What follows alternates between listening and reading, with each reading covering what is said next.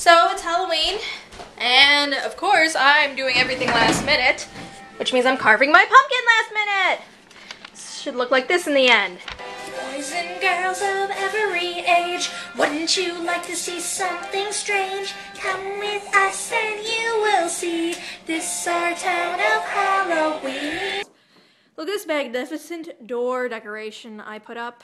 All me, just saying. The Grim Reaper wants you to come over. He's like, hey, my name's Grim Reaper, and I've got this nice lantern for you if you just. Oh my god, he's here! The Grim Reaper's here! He's mad because I made fun of him. Oh, you scream! This is Halloween! Red, and black, and slightly green. Aren't you scared? Well, that's just fine. Now, check out the uh, front of the house. Oh, you know it. Awesome. There's my dog. I am the who and the tall who's there. I am the wind blowing through your hair. I am the shadow in the moon at night, filling your dreams to the brim with fright.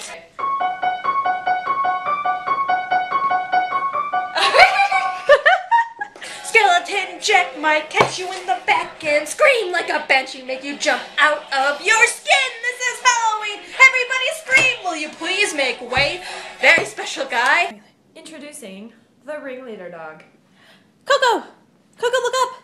Coco! Coco! Coco! Treat! Walk! There she is. For the benefit Of Mr. Kite, there shall be A show tonight! Oh no! untrample my head. I'm drunk. Yay for Halloween! I finished my pumpkin.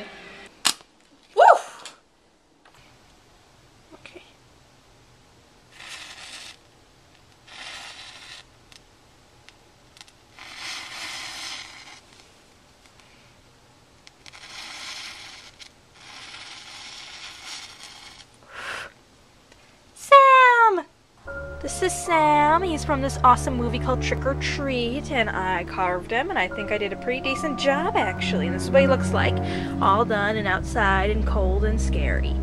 And yeah, well, I guess that's just Halloween for me. I handed out candy and looked really scary.